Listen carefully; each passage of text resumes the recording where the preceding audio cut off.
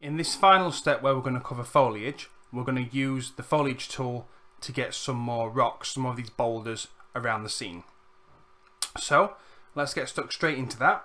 So I've got my foliage tool on. I need to make sure that I have no tick in the grass and no tick in the tree. And then I'm going to add my rock to the foliage tool.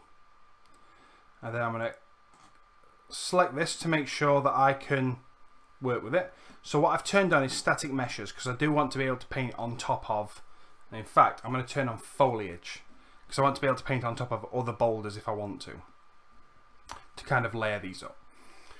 Okay, and then what we need to do is just work on some of these settings. So the density is going to be set to 10 on this one.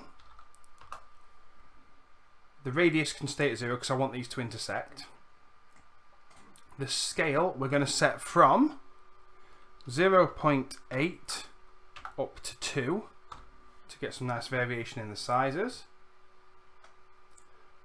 Okay, the Z offset this time around we're going to have going from minus 200 to minus 50. So I want these to intersect with the ground like I did with the rocks earlier.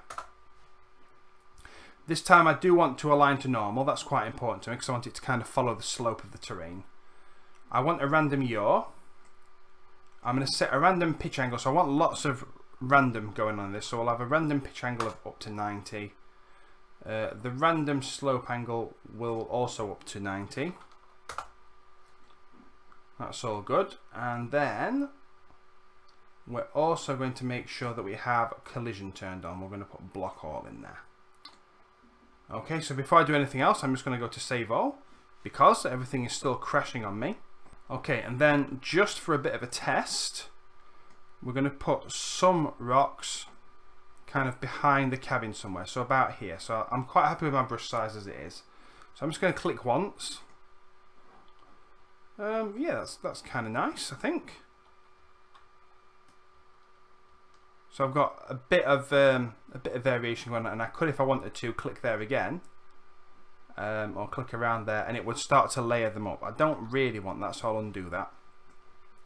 But now, as I kind of go around, I can add. So I want to just add some rocks kind of here, maybe there. So I'm just going to place them certain places around the scene. I've got to be careful not to touch the trees though, because I, I've got the ability to paint on foliage turned on so I could feasibly paint on top of the trees which I don't want to do.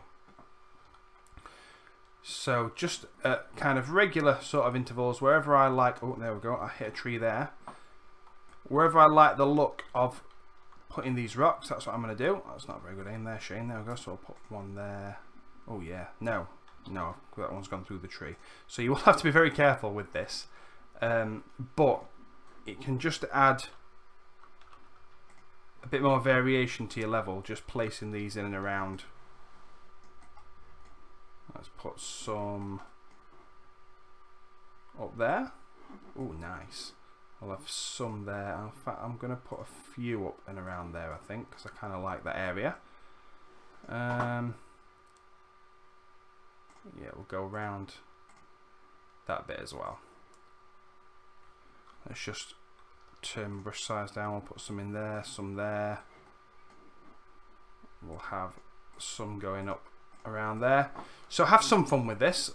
Um, and don't be afraid to let these rocks intersect one another because it will kind of add a little bit more variety to your level.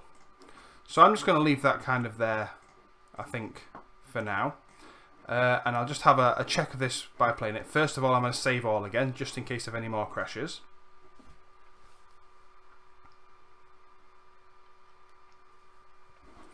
Okay, so let's check this out. So now I've got a lot more kind of bouldery rocks in the scene.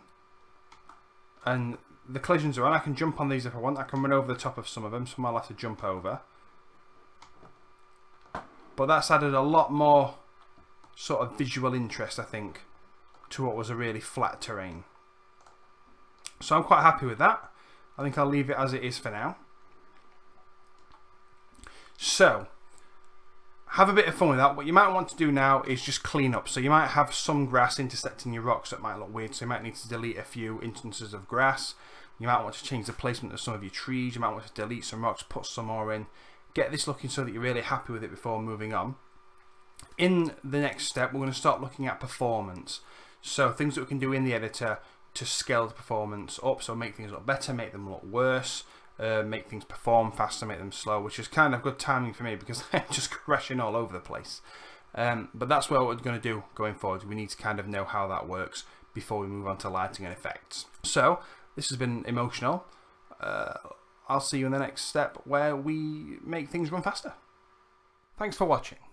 If you really want to take your learning further than I can cover in this series, then I highly recommend checking out Pluralsight. They have loads of really detailed video courses covering game art and game development using Unreal Engine 4. When I learned how to use Unreal a couple of years ago, this is where I went and I log in regularly to take a new course and improve my skills. I recommend checking out the Introduction to Unreal Engine 4 course by Joshua Kinney. This is really good and offers a good overview of what you can do in Unreal. You can get a free 10 day trial by using my link in the video description, and you get full access to all of their courses for that time. At the end of your 10 days, you can either subscribe for more or cancel, totally up to you. It's got to be worth a free trial though, right? I'd like to say a massive thank you to my patrons. Your support helps me to keep making videos like this one, and I really appreciate each and every one of you. It really blows my mind that people will support my channel and my work by pledging their money through Patreon. So again, thank you all so, so much. If you aren't already a patron and you'd like to offer your support, then please go to patreon.com forward slash Shane Whittington.